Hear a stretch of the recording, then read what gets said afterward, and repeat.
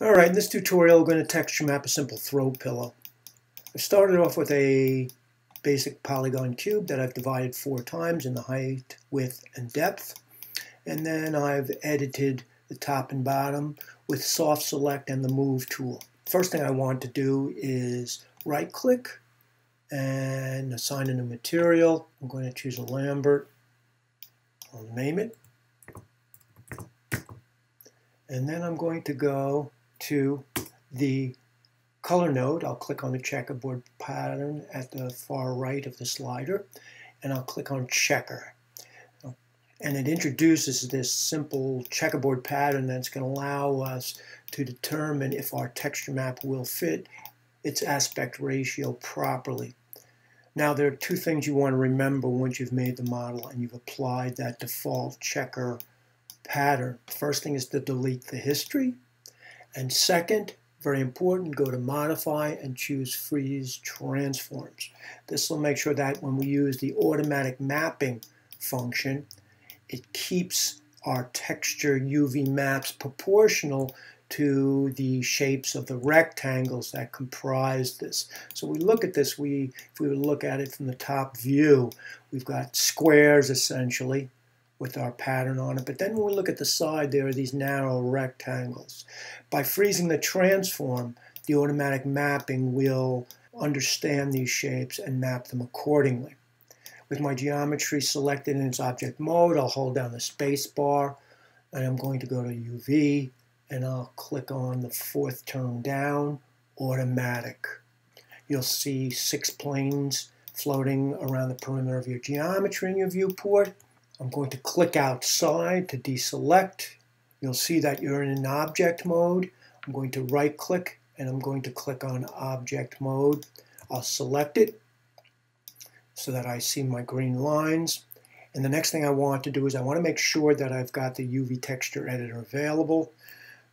It would be a little green box with the checkerboard pattern in it. If you don't see it on your shelf, you would hold Command Shift We'd go to UVs at the top of the user interface, and the very first choice is UV Editor. Now with my geometry selected in its object mode, I'll click on that, and it brings up my UV Texture Editor. Now I want to see the whole editing window, so I'll put my cursor over that window, right-click inside, and hit A for all.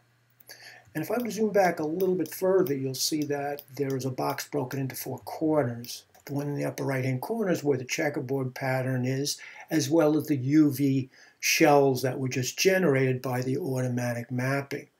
Now, I don't need the checkerboard pattern at this point, so inside the UV editor, there's a little icon that looks like a very graphic mountain range with a little planet above it. When I click on that, it turns that texture off.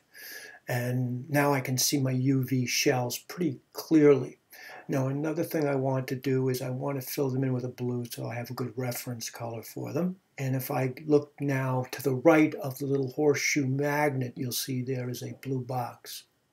I'll click on it, and now they've filled in blue, much easier to see.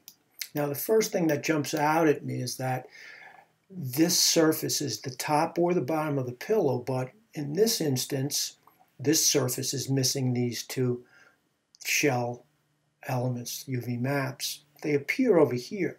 So my objective now is to cut them from the side panel and attach them there. So I'll right click over those shapes. I'll choose edge and I'll select the edges that join it to that vertical rectangle, which is one of the sides of the pillow. Once I've done so, I could go to polygons and choose cut UV edges. Now if I put my cursor over those two polygon shapes now, those faces, and I choose shell, right clicking. I can now select those two. I can hit W, and I can put them down in the general area that they'll end up being attached to. Now, I can also start to rotate these if I want to. I could use this manually. I could hit my E on the keyboard and I could rotate like so. Or if I wanted to, I could use these tools inside the UV texture editor. They're right below, almost like these little sailboat icons below the word image. You'll see these two arrowed uh, circular shapes, and they allow me to rotate clockwise or counterclockwise my two shells here, this, these little faces. Now, once I've got it generally where I want, I'm going to right click and choose edge. And I know that if I select the inside edges of the missing surfaces here, they'll select the corresponding ones to that little piece that had been separated out. Now with those edges selected, I can go to polygon, move and sew, and it puts them into position. Now my objective is to sew these side panels together so that I get somewhat a seamless line for my texture once I go into Photoshop. So I'll, once again, I'll use my edges and I'll select these four across the top. I'll go to polygon, move and sew, and I'll just continue this until all of these are one continual rectangle. Now, once I select the next row, I can go to polygons, move and sew, or I can hit G on the keyboard, and that will repeat the previous function. I'll select the last four, and I'll go to polygons, move and sew. Now I want to get everything into this corner, this upper right-hand corner, so that my texture map will appear on my model once I generate it and fix it in Photoshop. I'm going to right click on that narrow rectangle. I'll choose shell. I'll click on it and I'll just put it off to the side. And I want to scale this. So I'll hit R on the keyboard. I'm going to scale it so it is small enough to fit inside that upper right hand corner. And that looks pretty good. Now, there's a symmetry here in the sense that these two panels are pretty much the same. So to save space, I'm going to place them on top of each other.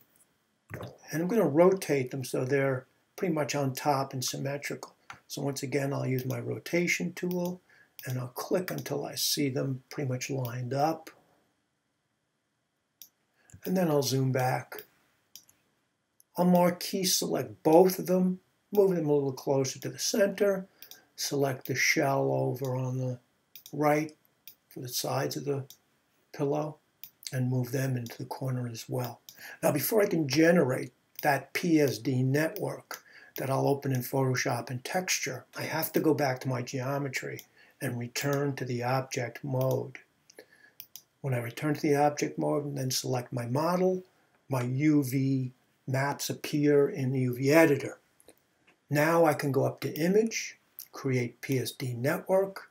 I'm going to direct it to my folder I'm going to name it and I'll hit save and I'll check my aspect ratio. It's by default that keep aspect ratio is probably locked and you want to keep it that way because it's reflecting what happens in this upper right hand corner. Usually the default size is 1024 by 1024, which is fine for this purpose. The next thing I'll do is I'll come down to the bottom where the attributes are. I'll select color, and then by clicking on this little right V, it moves the desired attribute into the selected attribute column. Now I'll hit apply. When I do, everything becomes deselected, which means I was successful in generating that PSD. Now we'll go into Photoshop and we'll build our texture. Now that we're in Photoshop, I'm going to go to File, Open, and I'll go to my project folder. I'll select the PSD and hit Open. Now it's a matter of just building our texture in the context of that UV map. Now you can see it brought in that checkerboard pattern by default as well, and we really don't need that anymore. So I'll hit D on the keyboard in Photoshop and then Option Delete to fill it in with black. Now one thing to note is that the UV snapshot is outside of this little group or folder. Any texture that needs to appear on my model in Maya has to be inside that group or folder. So I'll select that layer because I know that once I copy and paste the texture into it, it's going to come in above the selected layer in Photoshop. I'll go to File, Open, get my texture. I'll select it, and I'll paste it in, and I'll hit Command S to save. Now at this point, if I wanted to, I could scale this down and play with the proportions of it. That's something that you could do on your own. The important thing to note is that once you've made a change in Photoshop, you have to hit Command S to save it, to update it, because unless you do that, it won't update in Maya. So now I'll go to my texture, my material attributes, and I'll click on the little black box with the black triangle. And I'm going to also click on the word reload.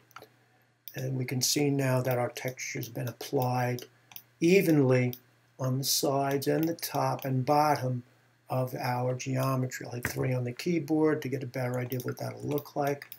And there's your basic throw pillow.